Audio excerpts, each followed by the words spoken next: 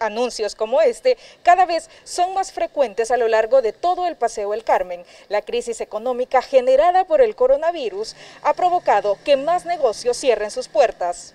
El caso de Tomasa Flores es solo uno de los ejemplos. Relata que en su local operaba un restaurante y discoteca pero que desde el inicio de la cuarentena cerraron operaciones y hace tres semanas decidieron entregar el inmueble.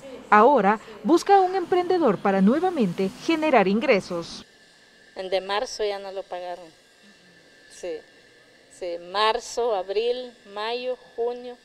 Ha dicho la, la dueña, la dueña del restaurante, que me va a pagar en que sea poquito, ¿verdad? Pero yo no he visto nada, pero con solo que me lo haya dejado, pues no es suficiente. Algunos comerciantes y emprendedores de este sector que se ha caracterizado por el turismo nocturno y cultural, aguardan el momento en el que puedan abrir sus negocios nuevamente, aunque explican que representantes de la municipalidad les han comunicado que podrían retomar labores hasta el próximo año.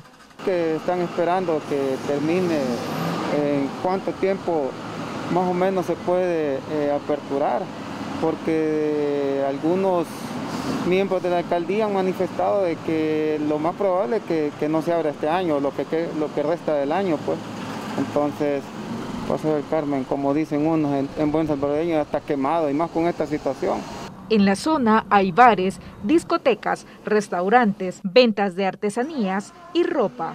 Estos son los negocios más afectados. Aquí tenemos luces, la máquina de humo. O sea, todo esto ya no se utiliza. Pero emprendedores como Yesenia Rivera buscan la manera de innovar para continuar operando y subsanar sus gastos, aunque las pérdidas sean cuantiosas. De un 100% es un 90% que hemos perdido.